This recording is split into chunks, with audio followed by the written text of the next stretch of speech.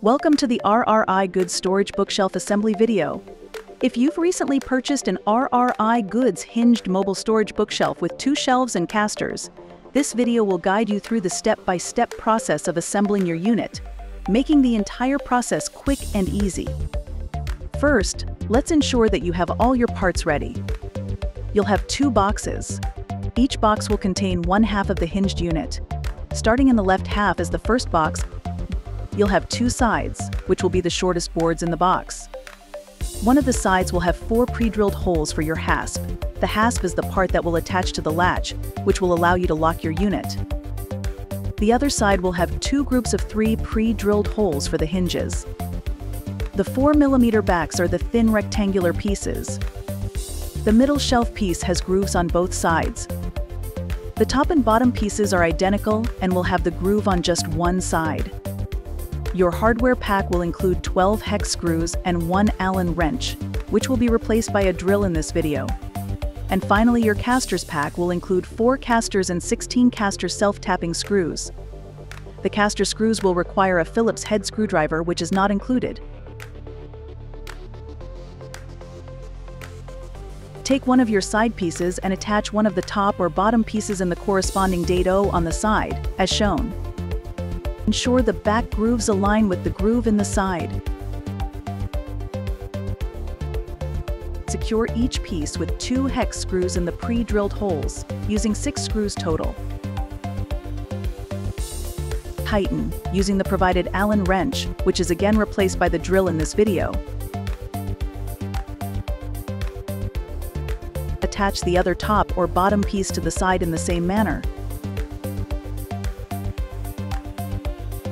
The middle shelf piece goes next.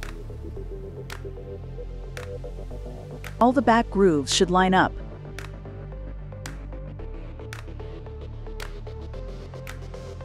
Slide the first back piece in place. Ensure the back pieces slide snugly into the back grooves. Sometimes the back may not go in the groove smoothly. Simply press the back piece in to ensure it stays in the groove. Slide in the other back side. And lastly, attach your other side piece using the last six hex screws.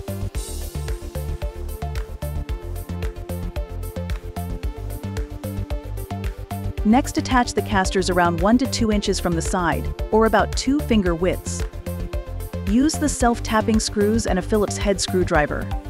Do the same for all four casters.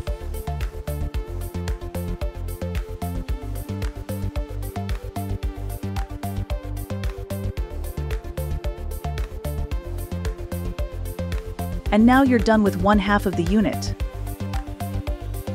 The other half is assembled in the exact same manner, the difference being that it will have the attached hinges and latch.